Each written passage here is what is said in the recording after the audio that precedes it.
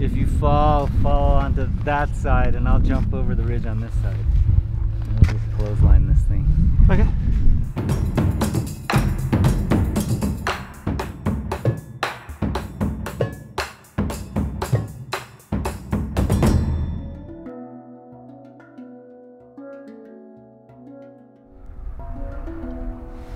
I am looking at the beautiful Grand Teton. It's funny, you look at like Jackson Hole over there and you're like, oh, Jackson's a big mountain. And then you like look at Grand Teton doubling in size. I really know nothing about how to get in, get up it. I mean, I've read a bunch of blogs and stuff, but I know it's a long tour. I know it's 7,000 vert. I know there's a bit of flat. Seems like pretty mellow. And then there's a you climb with a little ice fall. And then you climb up one more couloir to the summit and you ski down above exposure and you rappel through an ice fall. But that's all I know, which is not enough to go do it. So luckily, I've got another secret weapon. Someone people might have heard of before. He's going to be showing us the way.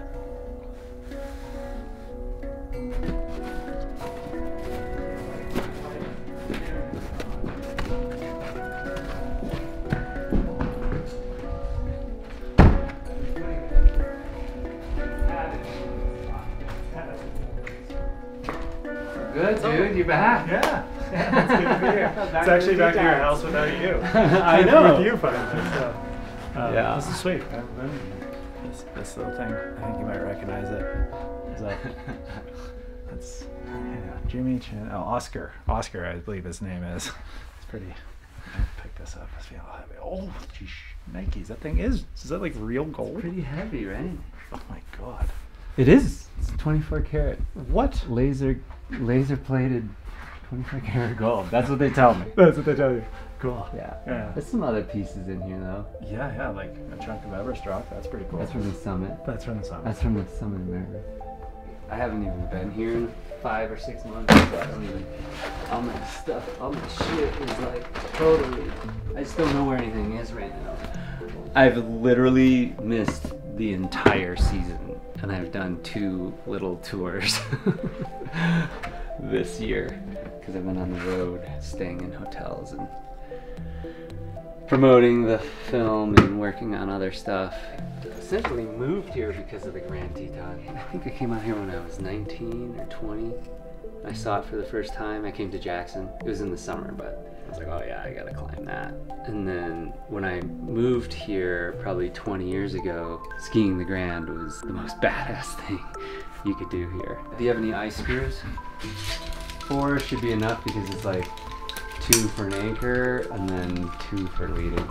Gotcha. There's rock anchors though, aren't there? Yeah, there's mainly rock anchors. We probably won't even need them, but just in case, like if we're for some reason, if we're short, if we want to, Yeah.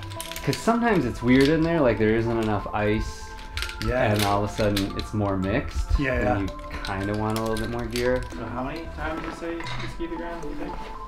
I mean, I lost count, but I'm a somewhere. I mean, it's gotta be 20 times or something. But yeah.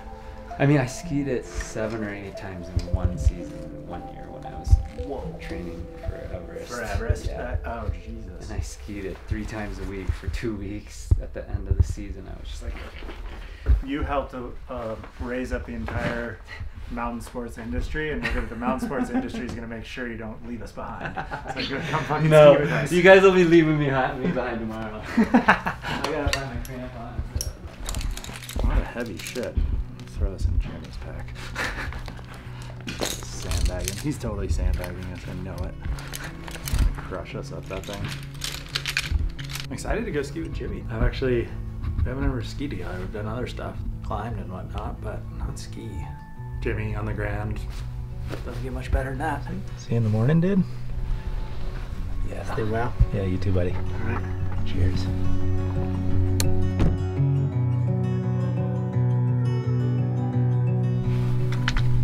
Buenos dias, dude.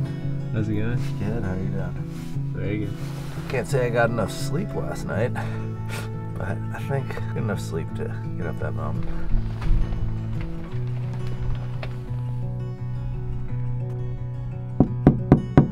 Good morning, how's it going? Good, how are you? Excellent. What time is it? Best time of your life. Ah, I guess it's that time, huh? How do you sleep? I slept pretty good. I mean, kinda. As good as you can when you know you gotta wake up early and go climb a mountain. I think we have a lot of hours of just kind of meandering mindlessly through valleys. I'm excited that I'm not having to film this. Just so everybody knows, Bjarne's gonna have to do twice as much as all of us today. So, I mean, if we can sum it in like six hours, it's probably gonna be about 12 to 14 miles round trip and 7,000 vert. So it's a real day.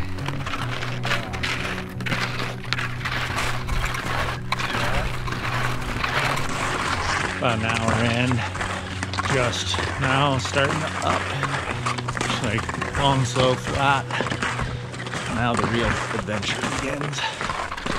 How's it going? Good. We've gone about one twentieth of the way. So talk to me in like six hours. First hint of sunrise. That's almost 6.15.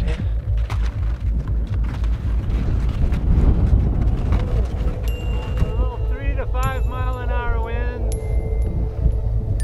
Might have been underreported. Yeah.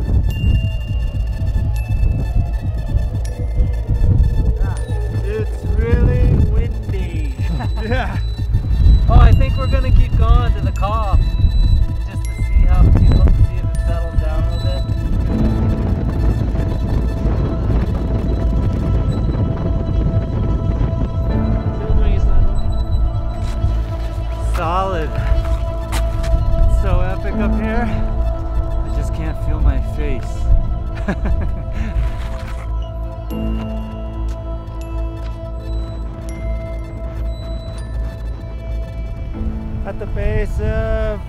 Ford Stettner, The Stettner. trying to see what how this ripping wind is doing.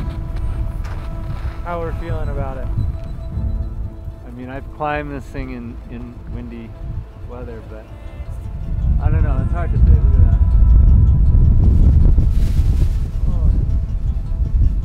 that. Getting blown around by 50, 60 mile an hour winds on the upper part of the mountain. Generally not fun. Not And kind of sketchy. And a little scary. Like, oh, I gotta put my ski on. Boom, my ski's on. there goes my glove. Boom. There goes Cody. Boom. We're this far. Like I'm willing to wait like half an hour, but you just don't know. It could it could settle down. I'm usually of the school where you're like, we'll go until it doesn't really make sense to go. Mm-hmm. And right now, seems like we could keep going. Mm-hmm. Got ropes and stuff. Middle Teton. Down this corner is the Ford Stettner. Got 1500 vert.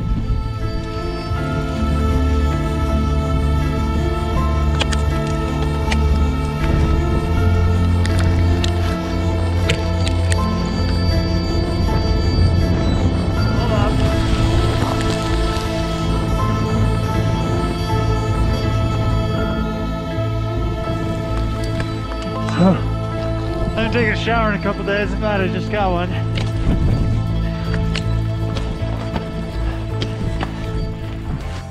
Just moved through the Stettner Couloir. This nice wall down below us. Now we're moving into the Ford. Jimmy on lead. Bjarne, following. Boys are down there somewhere. Just gonna beat up the rest of this ice pitch.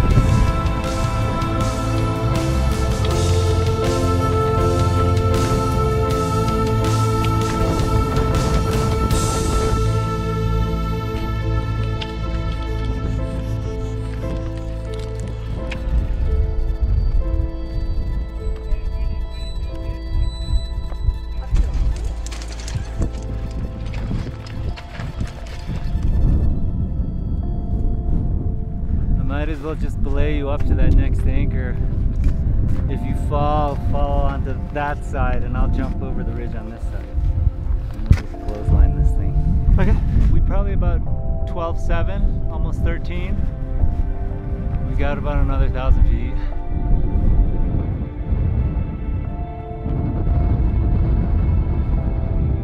This thing's a beast, eh? Yeah, it's massive. I feel pretty good, but this never ceases to kick your ass.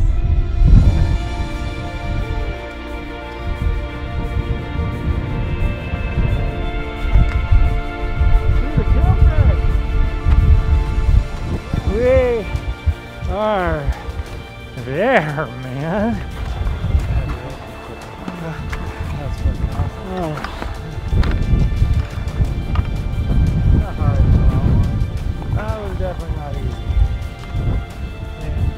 Yeah, man. Yeah, dude, you too. Hey, crush. Was, Thanks, buddy. oh, holy hell, this view is beautiful. like, what? I know. How about it?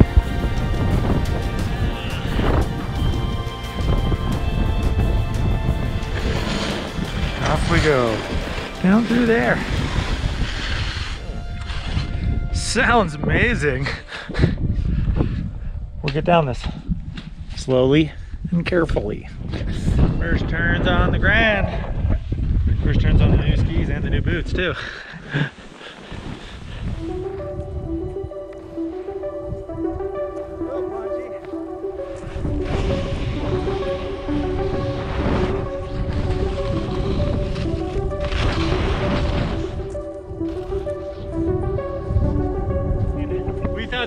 Be the good part.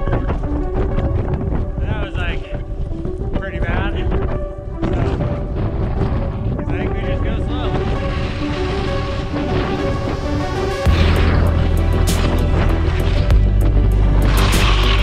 Alrighty, we're at the rap station.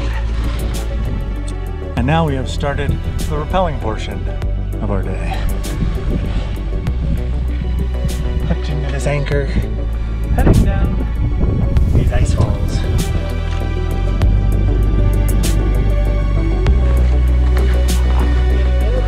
Ah! Ow! Crushing my Johnson.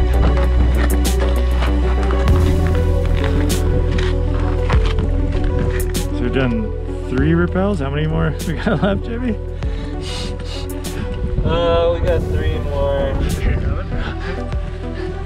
Started at three, back at seven. That's a great jump day, dude.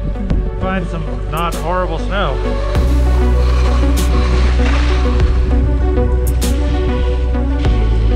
Oh, powder!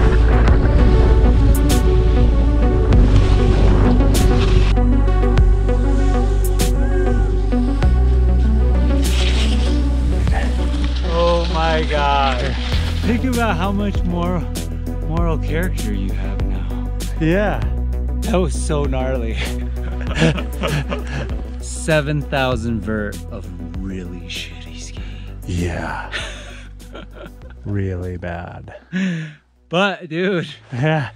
just tick that one off I mean, you skied it. Regardless, when you really look at it from here, like, why would you walk all the way up there? It seems really so far. far away. I know, dude. After all that that, was drive. a supper fest. For sure. Yeah.